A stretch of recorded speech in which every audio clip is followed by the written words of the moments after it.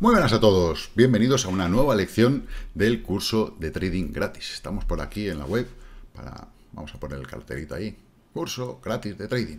Bueno, hoy vamos a hablar de lo que son los índices bursátiles. Eh, yo estoy seguro de que el que más, el que menos de vosotros, eh, si no ha invertido ya en un índice, lo hará y creo que es una muy buena forma de iniciar tu relación con los valores, ¿vale? ¿Por qué? Porque un índice no es ni más ni menos que una media, ¿vale? De las empresas más representativas de un país, de una región o de un sector. Entonces, eh, tradear con índices, digamos que tiene una cierta estabilidad, es muy sencillo, eh, evidentemente tú no eres propietario de esa acción porque un índice no tiene esas acciones, son participaciones, son fondos o fondos sobre índices o ETF sobre índices, hay mil historias, pero bueno, la cuestión es que tú puedes entrar, abrir tu cuenta en, tu broker o en tu banco de toda la vida, a ver si una cuenta de valores, mm, que es un poco más caro, pero bueno. Em, no quiere decir que sea mejor uno que otro, ¿no? Pero bueno, que los bancos ya sabemos lo que hay. Y además los de criptomonedas estamos un poquito en guerra con ellos. Eh, y bueno, pues puedes comprar eh, parte o apostar a ese valor, ¿vale? Eh, además, en la mayoría de los valores puedes incluso apostar a, la, al alza o a la baja.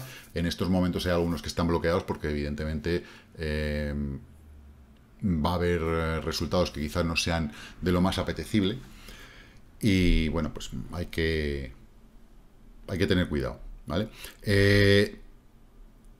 Un índice mide el valor, como hemos dicho, de una parte concreta de, ese mercado de valores. puede ser un mercado de valores tal cual, pues como el IBEX 35, pues el mercado de valores de la Bolsa de Madrid, o la Bolsa de Tokio, el Nasdaq. Puede medir también una región, es decir, eh, los índices asiáticos que hay eh, conjuntos, eh, los europeos. Puede medir un sector, energía, electrónica, inmuebles. O, por ejemplo, el FTS 100, lo que representa es el valor de las 100 empresas más grandes que cotizan en la Bolsa de Londres. ¿vale? Entonces, bueno, eh, ¿qué pasa? Que si el precio medio de, esas, de las acciones de esas 100 empresas sube, pues el índice subirá, y si baja, el índice bajará. Eh, es una buena forma de intentar mantener un equilibrio, ¿vale? Porque dentro de esos índices suele haber eh, los índices que representan un mercado de valores, suele haber empresas que, bueno, pues que tienen más o menos valor, más o menos capitalización, entonces digamos que de alguna forma se equilibra y a no ser que haya una hecatombe, el índice no baja de golpe. Eso es muy raro, ha pasado, bueno, lo hemos vivido hace poco, pero eh, realmente es, digamos, menos volátil, aunque tiene momentos de volatilidad, como todo en los mercados, siempre se puede aprovechar, digamos que para un inversor un poco más novato, pues puede ser una buena forma de empezar a relacionarse con los valores. Eh, un ejemplo muy claro, por ejemplo, es el ASX 200 de Australia. Eh, registra el rendimiento de las 200 mayores empresas australianas y si él empieza a subir, significa pues, que el rendimiento general puede ser bueno y además indica eh, a los inversores en general que el mercado de valores australiano mejora. Es decir, que también, como son representativos de su economía, la economía australiana sube. Tan sencillo como eso. Em, por ejemplo, eh, nosotros tenemos el IBEX 35. Estamos hablando de 35 empresas que, por muy grandes que sean, son solo 35 empresas. Entonces, decir que eso representa a toda la economía española puede ser un índice, pero para mí es pequeño. Es un índice que es pequeño, no es como un SP500, no es como otros índices que son bastante más grandes, pues como hablábamos de la Bolsa de Londres, son 100. Aquí somos pobres y tenemos solo 35 empresas, aunque tenemos 35 empresas cojonudas, las cosas como son. ¿Qué índices principales tenemos? Pues tenemos el FTSE 500, el DAX, el IBEX, el Nikkei, hay muchos, ¿vale? Eh, que suelen representar a un país, Canadá, el TSX 60. Pero, sin embargo, en Estados Unidos existen varios índices principales. ¿vale? Todos ellos se basan en secciones que son un poquito diferentes en el mercado. Tenemos por un lado el Dow Jones Industrial, por ejemplo. Es un índice de los más antiguos cotizados. Representa las 30 empresas más influyentes en Estados Unidos. Em, pero representan al sector de la industria pesada, es decir, esa industria que realmente sostiene el país. Eh, son empresas muy grandes, de capitalización muy grande, y bueno, eh, ahora mismo, por ejemplo, empezó con esa industria pesada, ahora mismo ya la asociación con ese sector de industria pesada mm, ya no es igual, ya no es igual. ¿Vale? Ya empieza más a valoración, a capitalización, ya no es industria como tal. Luego tenemos el SP500, eh, que normalmente está representando ya el 70% del valor del mercado estadounidense. O sea, es muy, muy importante el SP500. Y bueno, luego veremos que tenemos un, un, fondo sobre el SP500, eh, que bueno, pues puede ser interesante. Tenemos el Nasdaq 100, que como sabemos, pues bueno, pues tenemos ahí la informática, telecomunicaciones, biotecnología, etcétera, etcétera. Bien, pero ¿cómo se calculan estos índices? ¿Vale? Porque esto es un pequeño detalle muy importante, porque hay un par de índices que os voy a decir que su forma de cálculo es completamente distinta a los demás. Normalmente, la mayoría, ¿vale? Llevan un sistema ponderado de capitalización. ¿Qué significa capitalización? Que cuando mayor es el valor de una empresa, ¿vale? O cuanto más grande es esa empresa, evidentemente, más capital tiene, sí. ¿Pero por qué? Por cómo le puede afectar la subida y bajada de precio. Es decir, una empresa muy grande, ¿vale? De gran capitalización. Mm, a ver qué ejemplo podemos poner. Por ejemplo, en, nuestra, en, el, en el IBEX 35, Inditex. Inditex es una empresa muy grande, muchísimas acciones muy repartidas. Si tengo un millón de acciones y todas suben un euro, la empresa sube un millón. Pero si por otro lado, por ejemplo, tengo a Repsol y vale la mitad y tiene la mitad de acciones y suben un euro, pues mm, es medio millón. ¿Entendéis lo que os quiero decir? Capitalización, empresas muy grandes. Por otro lado, tenemos otra opción para medir a estas empresas que es un sistema ponderado de precios. No de capitalización ni de lo grande que sean, ¿vale? Sino del precio de la acción. Cuanto mayor es el precio, digamos que entra en ese índice. Esto puede ser una hecatombe. De hecho, a Japón la ha llevado varias veces a tener problemas. Porque, el, por ejemplo, el Dow Jones Industrial y el Nikkei 225 eh, se miden por, por, esto. Es decir, por la ponderación del precio. A mí esto no me gusta. ¿Por qué? Porque si estalla una burbuja, te estalla en toda la cara. Te estalla en toda la cara. Es decir, eh, ya no te está soportando una empresa, a ver, normalmente son empresas grandes, pero estamos hablando de precio de acción. Mm, a mí esa forma no me gusta, ¿vale? El IBEX 35 sí se hace por ponderación de, de capitalización y creo que es el sistema correcto. Em, ¿Quién lo hace? El SP500, el Nasdaq, el Hansen, el CAC40, FTS 100, ASX 200, ¿vale? Todos hacen ponderación por capitalización. Pero el Dow Jones Industrial y el Nikkei 225 es por ponderación de precios, ¿vale? A mí no me gustan eh, demasiado las ponderaciones por precios, por lo que os acabo de decir. Ante una burbuja te estalla en toda la jeta. Em,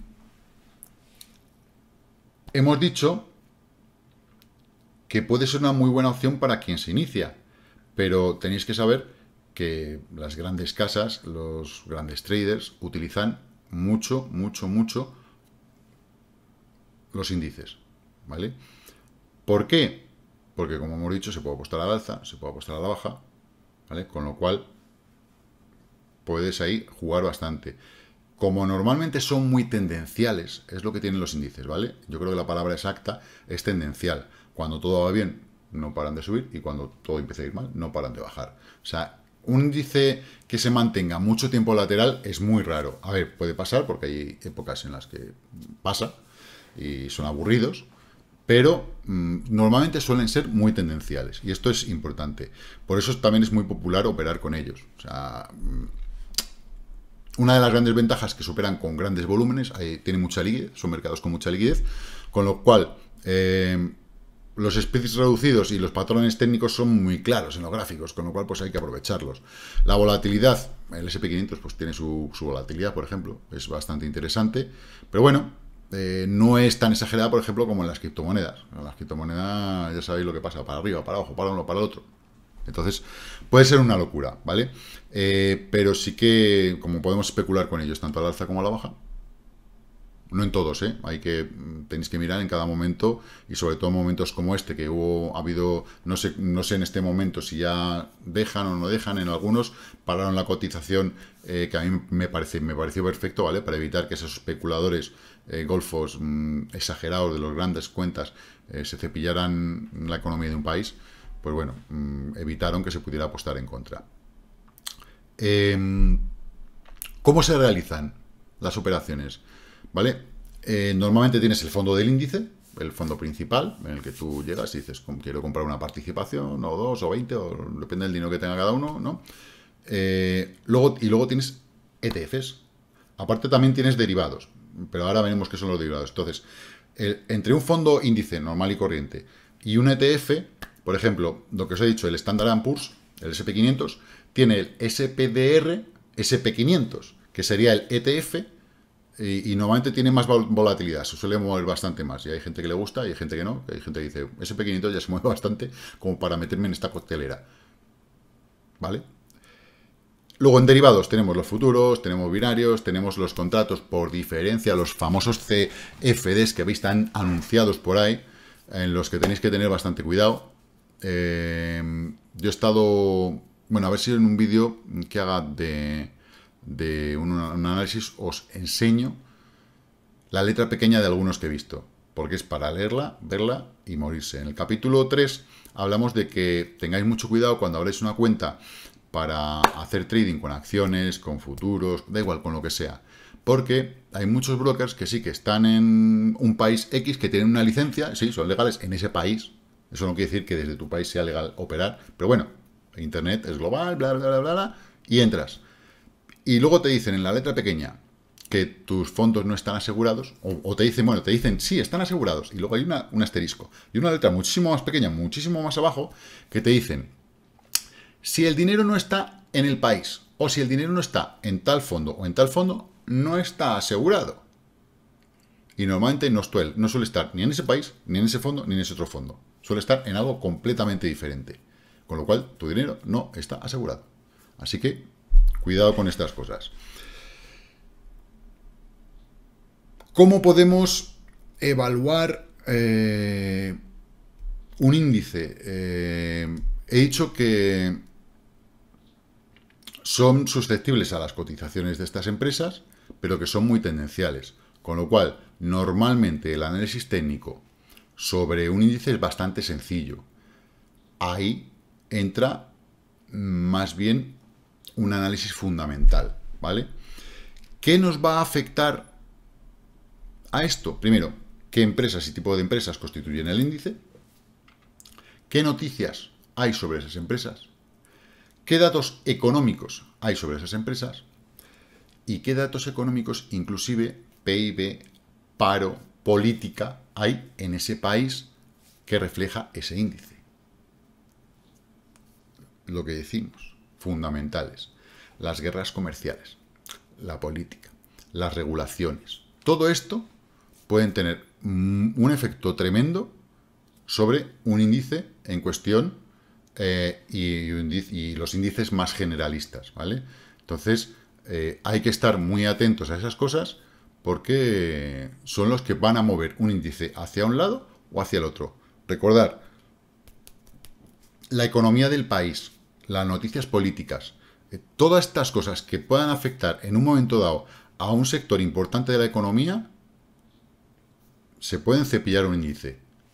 Eh, pueden hacerle que baje y que se nos vuelva a encontrar una operación. Así que cuando tradéis con índices, pues sabemos que tenemos que estar atentos pues, a coger el periódico, a coger internet, buscar información y ver qué noticias están saliendo. Y sobre todo, de como hablábamos en capítulos anteriores, calendarizar muy bien esas noticias que se van dando. Si yo estoy en el SP500, pues tengo que ver en, qué parte del trimestre eh, van a dar noticias del paro, van a dar noticias de PIB, van a dar noticias de todo tipo, los eh, de bonos, cómo, cómo van los bonos, ¿vale? Que esto también es importante.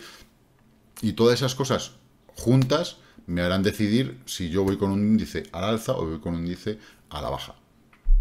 lo que he dicho, como son muy tendenciales, eh, normalmente suele ser bastante sencillo, eh, pero no quiere decir que te vayas a hacer rico de la noche a la mañana, pero bueno, que sí que tengas una cesta, ¿vale? Y creo que es una de las cestas que pueden valer la pena, igual que eh, hablé de Zardoya Otis en el capítulo anterior, que creo que es, ah, tiene unos dividendos que son muy majos y que para el largo plazo, pues oye, ahí vas guardando, vas guardando, vas guardando. Eh, si quieres afinar en este tipo de cosas, lo tienes complicado porque, mm, a ver, eh, si no tienes que esperar muchísimo tiempo. Es decir, si tú no, tienes paciencia y no tienes planificado cuándo vas a entrar en un índice o cómo vas a entrar, si no entras hoy, no vas a entrar mañana ni vas a entrar pasado. ¿Vale? Esto es como el que no compra Bitcoin. No, no ya compraré cuando baje a 3.000 otra vez. Sí, sí, ya lo vas a ver tú. ¿Vale? Informaros bien sobre el tema de índices. Creo que lo que os he explicado es la base de cómo funciona un índice. Y bueno, pues básicamente hasta aquí es la lección de hoy. Quería explicar esto porque creo que es muy importante. En la próxima lección vamos a ver Forex y materias primas, las dos cosas juntas. Eh, aunque, sean no, aunque no tengan nada que ver, pues eh, como hay, tienen algo en común, que son los hay contratos de futuros, eh, hay varias cosas en Forex que son muy, muy interesantes. Bueno, creo que lo vamos a hacer juntos y después pasaremos a criptomonedas. Y después ya empezamos, por fin, a empezar con el análisis técnico, que creo que es lo que estáis esperando y espero que, bueno, que este capítulo pues eh, os sea de, de utilidad. Eh, leerlo en la web lo tenéis aquí en... Pues aquí, mira, voy a bajar esto. Aquí está, aquí está, ¿vale? Ya está colgado el texto. Eh, ¿Por qué cuelgo el texto? Porque hablo en el vídeo muchas veces y a lo mejor hay cosas que no digo, pero en el texto están seguro seguro. Eh, es un texto, mm, normalmente ya sabéis que pongo quitando algún texto que es bastante largo, pues el de blockchain eh, que está en la web también, que es, es, espectacular, mm, ese tiene chicha, ¿vale? Pero es para que cualquier persona lo entienda. Este, de esta lección, creo que es importante y creo que hay que leerlas, eh, porque por mucho que nos contemos en vídeos, si nosotros leemos, se nos queda mejor. Y aunque parezcan que son cosas obvias, con el tiempo las olvidamos y las obviamos. Y dejamos, pasamos, las dejamos pasar. Pero bueno, lo dicho, espero que os haya sido de utilidad. Compartirlo, compartirlo, regalarme un me gusta, que tampoco pasa nada porque me pongáis me gusta. Si no te gusta, ponme no me gusta. Yo sé que tengo un troll por ahí que me pone en todos los vídeos no me gusta. Gracias, porque que me pongas no me gusta es interactuar y eso me posiciona. Aunque sea, aunque tú pienses que decir no me gusta no te posiciona, te equivocas. El no me gusta también posiciona. Así que, gracias. Chicos, chicas, lo que digo siempre, invertir con mucha cautela y que la paciencia os acompañe.